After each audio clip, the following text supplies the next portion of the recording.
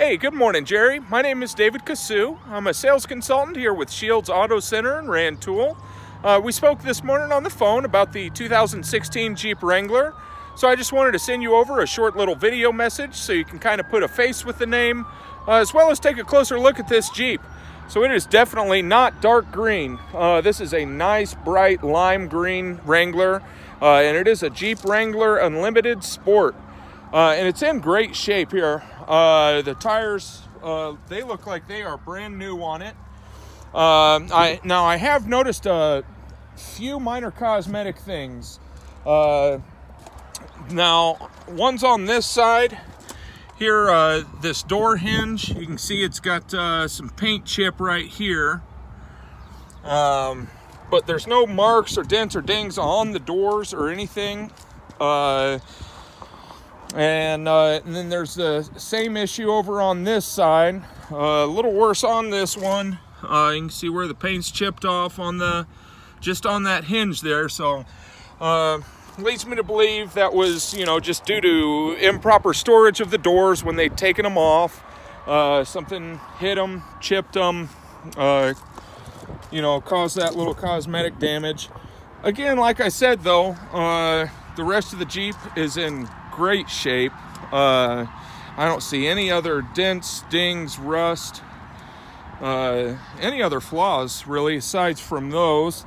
Um, as far as the exterior goes, now for the interior, uh, I can definitely tell that this was owned by a uh, by a smoker. Uh, it does have a little odor of cigarette smoke in here and it may just be a little bit more prevalent to me because uh, because I quit smoking cigarettes, so it's it's definitely uh, more noticeable to me. Uh, and then there's also two little tiny burn holes in the driver's seat over here. Uh, but as far as uh, uh, you know, past that, the rest of the seats look great. Just a little dirty. They just need a little cleanup and stuff from our detail department. Uh, this Jeep does uh, have four-wheel drive, uh, Bluetooth connection for your phones, CD player, satellite radio. Uh, and then around to the back here, again, just some uh, sand and uh, kind of grass and stuff in the back here. We need to get this all cleaned up. Here's a good view of the back for you.